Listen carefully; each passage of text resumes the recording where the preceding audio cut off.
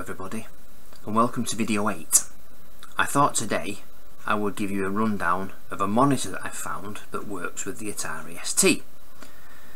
This will be a Dell P23 14H a 23 inch widescreen monitor manufactured I think in 2016 possibly maybe 2015 but even though it only syncs down supposedly to 50 hertz it actually works at 15 kilohertz on the Atari ST and I'll show you this by trying Pac-Mania.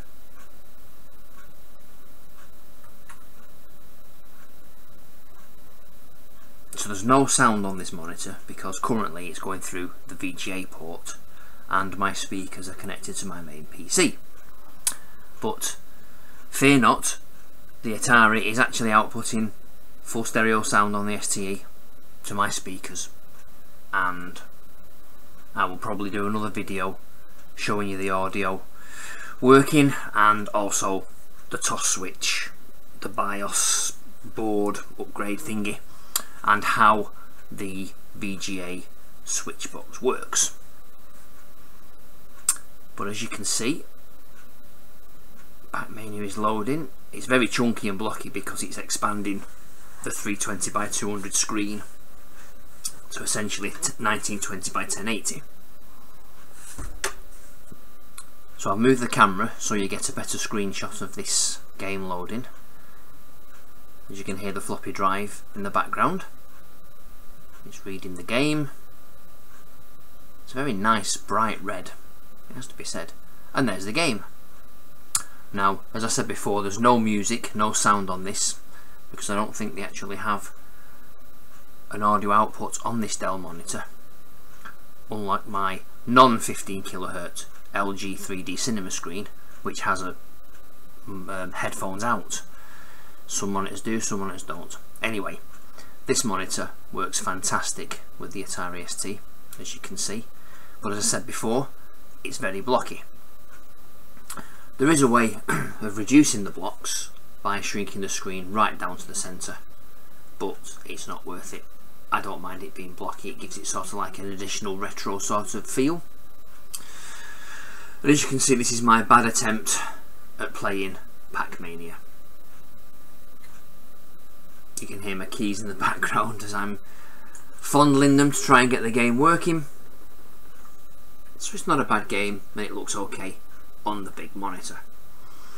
Um, I do think maybe I'll try and get that white border a bit smaller because this monitor doesn't actually lose its settings once you turn it off which is quite good and that also helps for high res mode which we'll see further on in the video.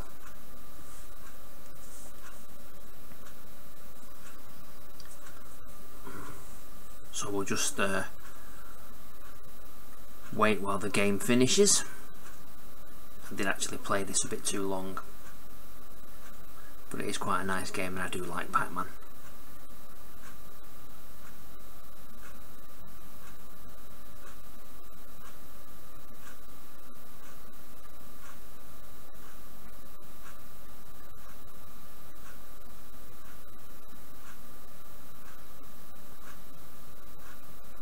Atari keyboard. It's actually quite noisy even though it's not mechanical as you can I mean you can't hear on this video.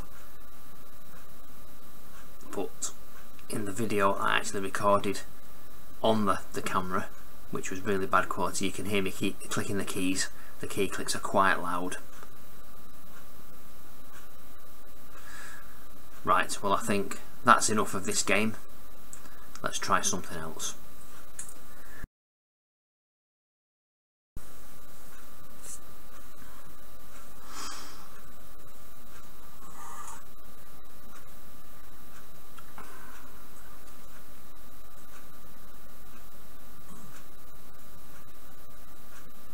Okay, let's try Nebulus.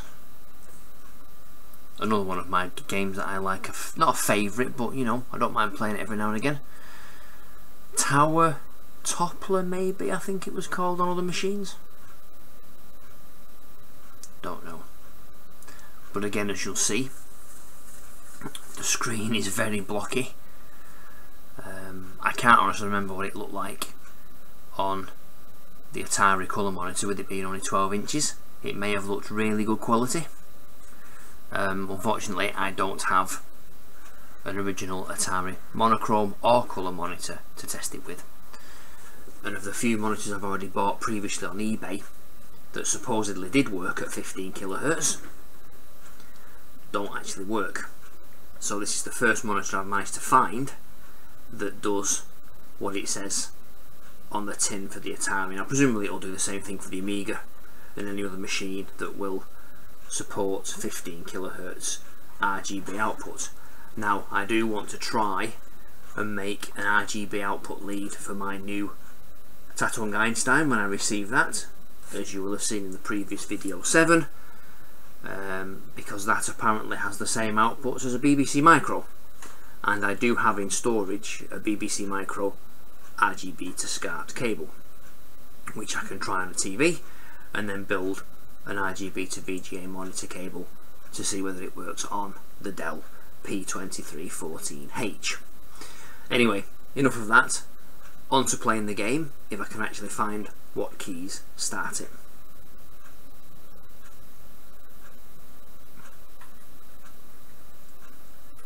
Oh, there we go. And I think I've either paused the game or it's crashed, which is a bit of a so-and-so. That's a fail. Oh dear. But it still looks good on the screen. I love those colours. Time for another disc change. So what can we try now? Let's see.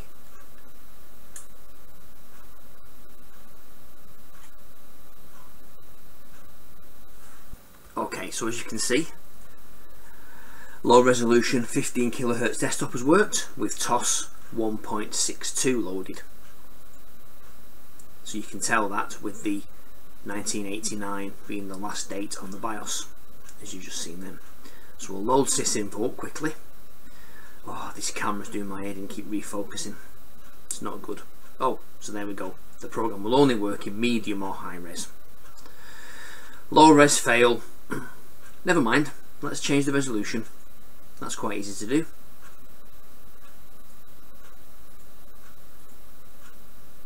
There we go.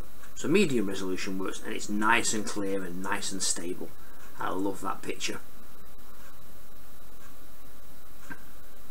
That's my self-made, my homemade VGA RGB switch box.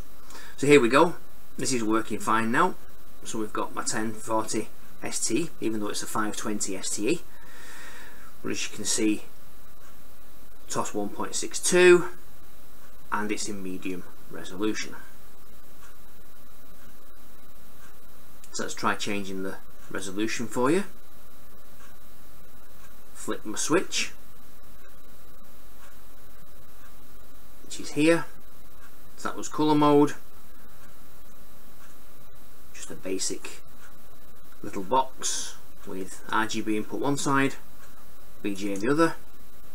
So colour one side as we had before, uh, monochrome on that flick switch. And we'll turn on.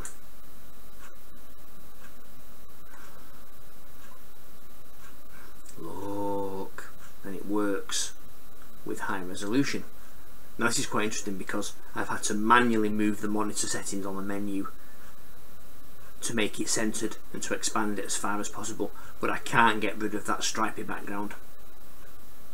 So again 1989 TOS 1.62 high resolution 640 by 400 as we will see with sysinfo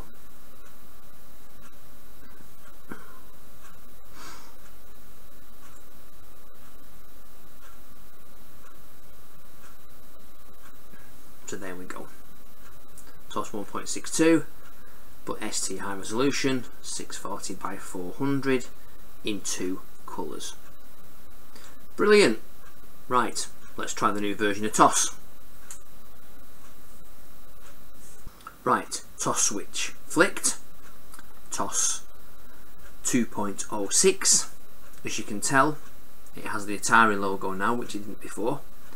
Oh stop refocusing your stupid camera and it now does the RAM test which you can abort by pressing the escape key. And the monitor switch box is still in monochrome. So there we go. So there's your new your two new uh, dates 1990 1991 try and fix this camera by focusing on the screen. Oh there we go. That seems to have worked. Excellent. No maybe it hasn't. Okay so TOS 2.06 and high resolution. Still two colours still 640 by 400 right let's try lower medium resolution. Switch box back to colour.